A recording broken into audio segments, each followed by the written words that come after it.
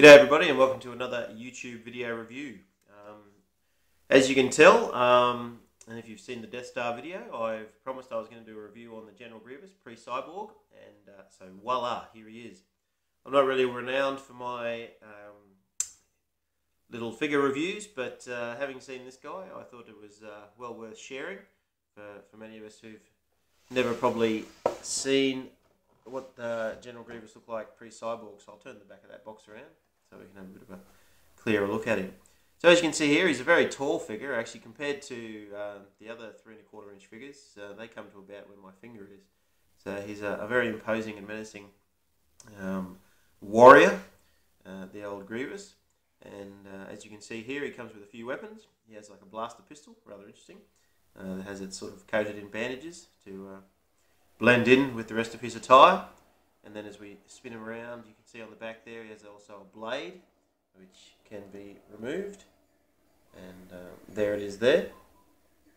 You'll also notice that our, our Grievous uh, had himself uh, a head of hair back there, and you can see that the uh, hair coming from the, the back underneath his, his helmet. He has his cape here that can be removed, and uh, then he has his sort of garments underneath.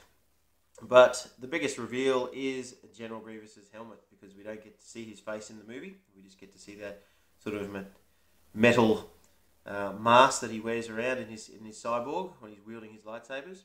So let's have a look and see what General Grievous looked like before he was uh, a cyborg. So you can see there, hopefully the camera's picking that up.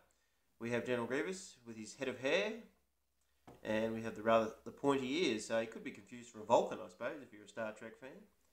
Then we spin him around to the front, and see if I can bring him a little bit closer.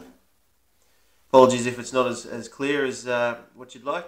He has these sort of large teeth, what look like large teeth, protruding from uh, the bottom of his jaw there and the side of his mouth. Has a rather elongated forehead, so obviously he was a very smart man, and uh, and then have his eyes. So you can see where the Grievous mask comes from because that's the the headgear that he's wearing. And that just slots back over there and goes over the top of his rather pointy ears. And you can see that there, so he's ready for a battle on his home planet. So hopefully you've uh, enjoyed that little insight into uh, General Grievous and the pre-cyborg years. Uh, as I said, if you know more about the history of him, feel free to, to place the comments down and uh, and share with the rest of us. It's always um, good to hear people's um, other parts of information that they can share. So thanks for watching. Keep subscribing. Hopefully you've checked out the Death Star review, which uh, you can see there, the Death Star in the background. And um, cheers.